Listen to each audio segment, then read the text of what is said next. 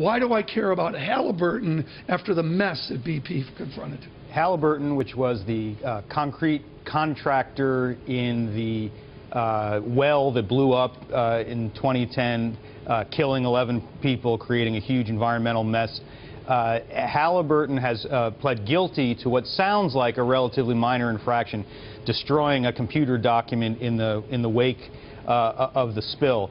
The reason this is so significant is that Halliburton uh, and BP are still fighting uh, over civil allegations in federal court as to who is, if anyone, is grossly negligent, and billions of dollars turn on that question.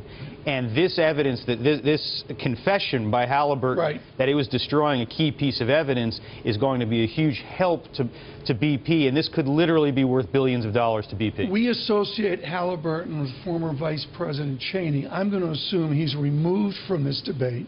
He That's is. ancient history. But the, the state of Halliburton today, are they being sued like BP is being sued? Yes. By the people of Louisiana? They're, they're being sued by everybody, but critically, they're being sued by the federal government. The, the main, main uh, uh, arena right now is in federal court in New Orleans, where the Justice Department is seeking billions of dollars in civil environmental penalties, uh, both from Halliburton and from BP, and we've got a finger-pointing exercise where the companies are trying to push the liability onto right. each other. To the drama of Steve Cohen, and we sort of know where those funds will come from, from the people of SAC Capital. If they're sued for quote-unquote billions, where does that money go come from? Insurance companies?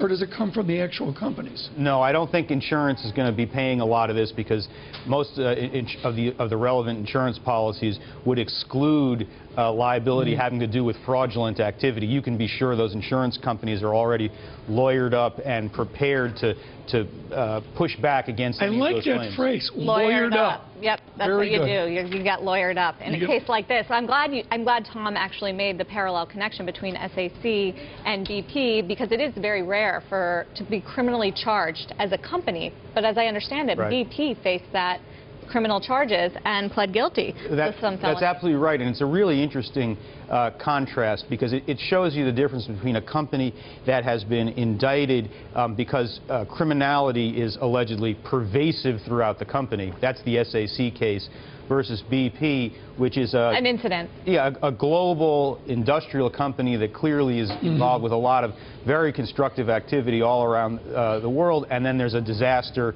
and the question is, is whether whether they violated some laws in oh. connection with that particular disaster. And just another example to bring it in is Arthur Andersen from Enron, which didn't fare so well after the and it was wiped out. charge. I mean, yeah. that's was wiped out, and, and, many people have criticized the, the Arthur Andersen indictment for that reason because yes. 27,000 people lost their jobs. But what people tend to forget in, in the, the mists of history is that Arthur Andersen was a recidivist. Arthur Andersen had been in trouble because of its audits with a whole series of right. companies before Enron, chiefly with, with waste management. And Arthur Andersen had promised the government over and over again, right. we're going to clean up.